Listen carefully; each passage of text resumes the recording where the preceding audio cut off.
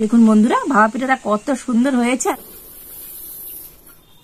নমস্কার বন্ধুরা, রূপার রন্ধনশালায় আপনাদের সকলকে অনেক অনেক স্বাগত জানায় তো বন্ধুরা, আবারও চলে এসেছি। আজকে আমি একটা দুর্দান্ত রেসিপি নিয়ে, আর আজকে আমি বানাবো ভাপা পিঠা তো বন্ধুরা, আগেও তো অনেক রকম ভাপা পিঠা রেসিপি আপনাদের সাথে শেয়ার করেছি, আর আজকে আমি কিন্তু একটা অন্য রকমের ভাপা পিঠা বানাবো।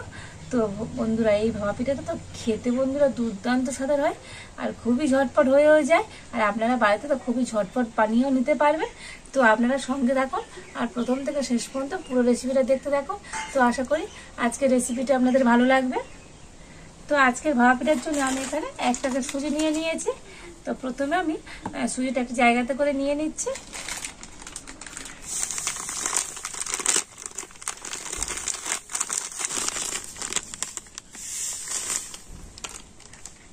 পুরো সুজিটাই আমি কিন্তু নিয়ে নিয়েছি।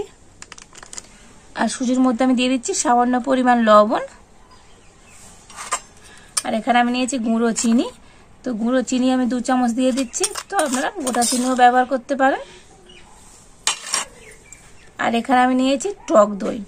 তো আমি দু চামচ টক দই দিয়ে দিচ্ছি। তো এবার আমি সমস্ত উপকরণ খুব ভালোভাবে মিশিয়ে নেব।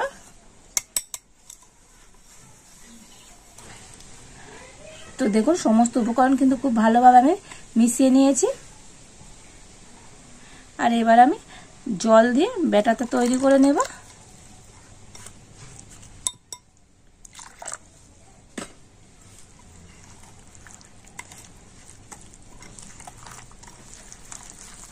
তো দেখুন, জল দিয়ে কিন্তু ভালোভাবে ব্যাটারটা আমি তৈরি করে নিয়েছি।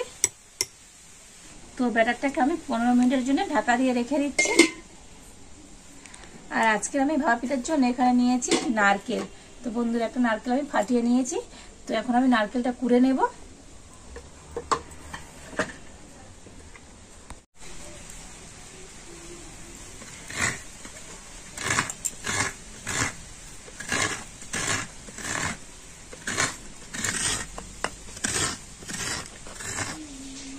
বন্ধুরা, এই দুটো মালা নারকেল আমি কুড়ে নিয়েছি। আর এবার আমি এখন উনুনটা জ্বেলে দেব।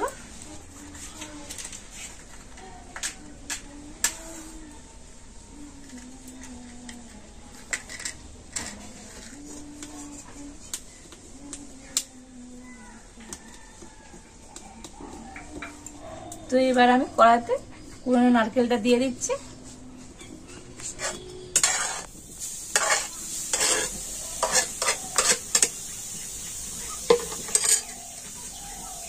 আর দিয়ে দেবো আখের গুড়। তো এই বাটি আমি হাফ বাটি আখের গুড় নিয়েছি। তো মোটামুটি এখানে একশো মতো আখের গুড় আছে। তো বন্ধুরা, আপনারা কিন্তু এখানে আখের গুড়ের পরিবর্তে চিনিও দিতে পারেন। যেহেতু আখের গুড় হেলদি সেই কারণে আখের গুড় দিয়ে আজকে ভাত পিঠাটা বানাচ্ছি। তো এখন আমি গুড় আর নারকেলটা কিন্তু খুব ভালোভাবে মিশিয়ে নেব। আর এইভাবে নাড়তে নাড়তে তো গুড়টা কিন্তু গলে যাবে। এখানে কোনো জল দেওয়ার প্রয়োজন হবে না। তো দেখেছেন তো বন্ধুরা? গুড়টা কিন্তু কতটা গলে গিয়েছে। তো এইভাবে হালকা জাল দিয়ে তো নাড়লে গুড়টা কিন্তু খুব ভালোভাবে গলে যাবে।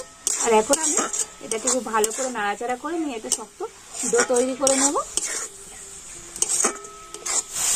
তো দেখুন, এই নাড়তে নাড়তে তো পড়তে কতটা কিন্তু শুকনো হয়ে এসছে। তো বন্ধুরা আজকে আমি শক্ত করে নেব। তো আমার একটু শক্ত দরকার। একটু পুরটাকে আমি আর একটু নাড়াচাড়া করে একটু শক্ত করে নিচ্ছি। তো দেখুন, নাড়াচাড়া করে তো পুরটা আমি কতটা শক্ত করে নিয়েছি, তো এরকম একটু শক্ত শক্ত ডো তৈরি করে নিতে হবে। আর এখন আমি এটাকে নামিয়ে নেব।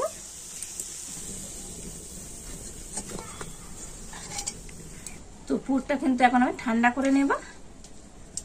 আর এদিকে আমি কড়াতে জল বসিয়ে দিয়েছি। আর আমি এরকম নিয়েছি একটা কড়া বসানোর স্ট্যান্ড।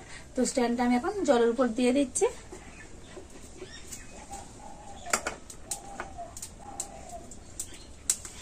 আর এখন আমি ঢাকা দিয়ে জল আর স্ট্যান্ডটা খুব ভালো করে গরম করে নেব। আর এবার আমি সেই সুজির ব্যাটার থেকে ঢাকাটা খুলে নেব। তো দেখুন বন্ধুরা, সুজিটা তো আমি পনেরো মিনিট ঢাকা দিয়ে রেখেছিলাম, আর সুজিটা ফুলে গিয়েছে কত, আর ব্যাটারটা কিন্তু অনেকটা একদম গাঢ় হয়ে গিয়েছে, দেখুন বন্ধুরা। কতটা শক্ত হয়ে গিয়েছে ব্যাটারটা, দেখেছেন? তো আমি একটু জল দিয়ে ব্যাটারটা পাতলা করে নেব।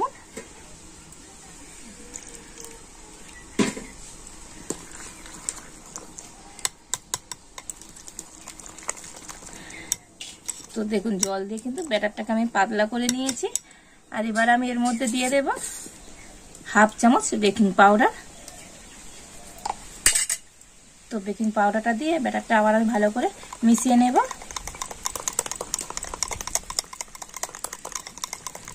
আর এবার আপনাদের দেখিয়ে দিচ্ছি ব্যাটারের ঘনত্বটা কেমন হবে।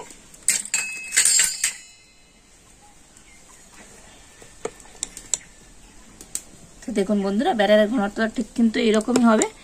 খুব পাতলা হবে না, আর খুব ঘনও হবে না। ঠিক এইরকম ঘনত্বের করে কিন্তু ব্যাটারটা তৈরি করে নিতে হবে। আজকে আমি ভাবি এটা এই স্টিলের গ্লাসে করেই বানাবো, তার জন্য আমি দুটো স্টিলের গ্লাস নিয়ে নিয়েছি। তো দেখুন, এই দুটো গ্লাসে কিন্তু ভালো করে আমি তেল লাগিয়ে দিয়েছি। আর এবার আমি এই ব্যাটারটা দুটো গ্লাসে দিয়ে দেব।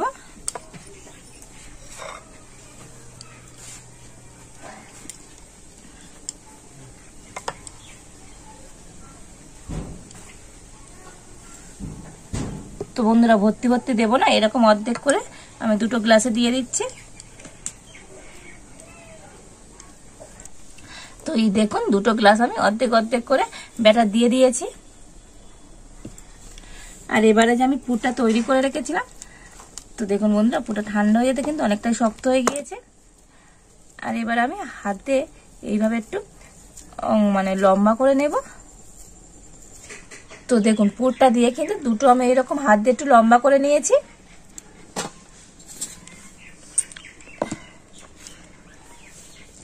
আর এবার আমি এইগুলো গ্লাসের মাঝখানে,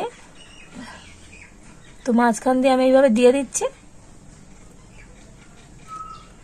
বন্ধুরা, এই যে এখন এরকম বাইরে আছে তো, ব্যাটারের বাইরে এই পুরটা আছে, এটা কিন্তু অনেকটা ফুলে কিন্তু এই গ্লাসটা ভরে যাবে। তো ওই জন্য আমি ব্যাটারটা গ্লাস এরকম খালি করে দিয়েছি আর পুরটাও অনেকটা উঠে আছে। তো দুটো গ্লাসে আমি একইভাবে দিয়ে দিচ্ছি পুরটা তো দেখুন বন্ধুরা, এটা কিন্তু ফুলে গ্লাস ভরে যাবে, সেই কারণে আমি এইভাবে দিয়েছি। আর এবার আমি ঢাকা খুলে দেখে নেব। তো দেখুন বন্ধুরা, জল কিন্তু ভালো মতো ফুটে গেছে। আর এখন আমি এই গ্লাস দুটো এই স্ট্যান্ডের ভিতরে দিয়ে দিচ্ছি। আর এবার আমি ঢাকা দিয়ে দিচ্ছি। আর বন্ধুরা, এই ভাবা পিঠাগুলো তো হতে কিন্তু খুব বেশি সময় লাগে না। দশ থেকে পনেরো মিনিট হলে কিন্তু আজকের এই ভাবা পিঠেগুলো হয়ে যাবে। তো আমি দশ মিনিট পরে খুলে আপনাদের দেখাচ্ছি কেমন ভাবা পিঠে হয়েছে। তো প্রায় দশ মিনিট পরে আমি এবার ঢাকাটা খুলে দেখে নেব। দেখুন বন্ধুরা, সুজিটা কিন্তু কতটা ফুলে গিয়েছে তো আপনাদের বলেছিলাম, তো ফুলে কিন্তু একদম গ্লাস ভর্তি ভর্তি হয়ে যাবে। তো দেখুন, ফুলে গিয়েছে, কত কারণ হয়েছে। আর আমি একটা এরকম নিয়েছি টুথপিন টুথপিন দিয়ে আমি দেখে নেব যে আজকের ভাবা পিঠাটা আমার ঠিকঠাক হলো কিনা। তো দেখুন বন্ধুরা, এই টুথপিনের গায়ে কিন্তু একটু কিচ্ছু লেগে নেই। মানে আজকে কিন্তু ভাবা পিঠাটা আমার একদম রেডি হয়ে গেছে। তো আমি এবার নামিয়ে নিচ্ছি।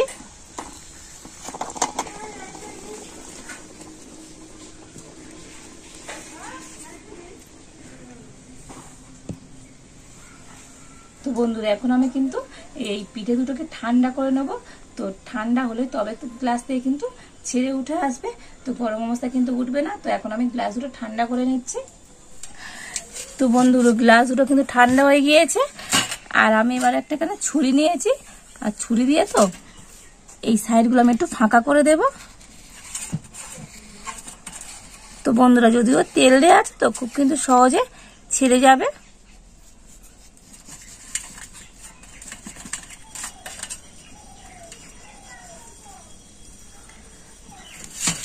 তো দুটো গ্লাস আমি ওইভাবে ফাঁকা করে নিচ্ছি। তো এবার আমি এটাকে হাতে এইভাবে পিছন থেকে ঘা মারলে তো উঠে আসবে।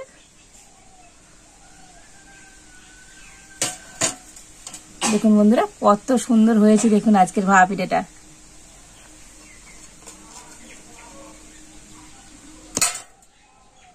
আর এটাও আমি একইভাবে তুলে নিচ্ছি।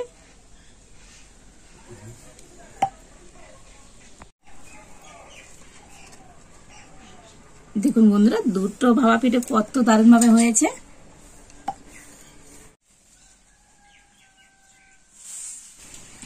দেখলেন তো বন্ধুরা, আজকের এই গ্লাসে করে কত সুন্দর ভাবা পিঠেগুলো হয়েছে। তো এখন আমি ভাবা পিঠেগুলো কেটে দেখাবো যে ভিতর থেকেও কত সুন্দর হয়েছে।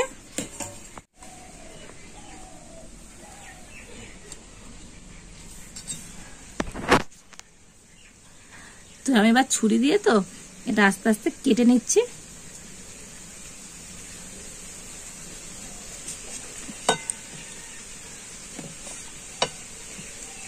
দেখুন বন্ধুরা ভাপা পিঠাটা কত সুন্দর হয়েছে আর মাঝখানে যে পুরটা দিয়েছে, তো কি দারুণ দেখতে হয়েছে দেখুন বন্ধুরা।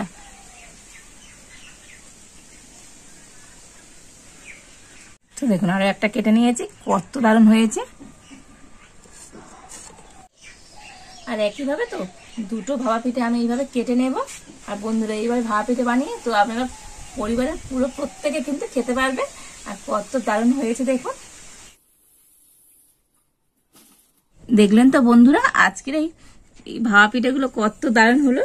তো গ্লাসে করে কত সুন্দর ভাপা পিঠে হয় তো আপনারা দেখলেন। দেখতে হয়েছে, দেখুন বন্ধুরা ও অসাধারণ সুন্দর।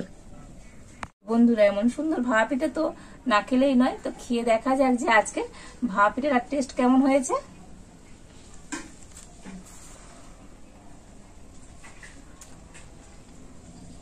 বন্ধুরা, দুর্দান্ত টেস্ট হয়েছে। অসাধারণ লাগছে খেতে। তো বন্ধুরা, এই শীতকালে তো আপনারা একবার হলেও এই আমার মতো করে ভাপা পিঠাটা একবার বাড়িতে বানাবেন। দেখবেন বন্ধুরা, দুর্দান্ত হবে। আর বাড়িতে বানালে তো কেমন হয়েছে, তো আমাকে একবার অবশ্যই কমেন্ট করে জানাবেন। আর আজকের রেসিপিটা আপনাদের ভালো লেগে থাকলে লাইক শেয়ার কমেন্ট করবেন। আর আমার চ্যানেলে নতুন বন্ধু হয়ে থাকলে চ্যানেলটা সাবস্ক্রাইব করে পাশে থাকবেন। তো আজ এই পর্যন্ত, আপনারা ভালো থাকুন, সুস্থ থাকুন। দেখা হচ্ছে নতুন কোন একটা রেসিপি নিয়ে।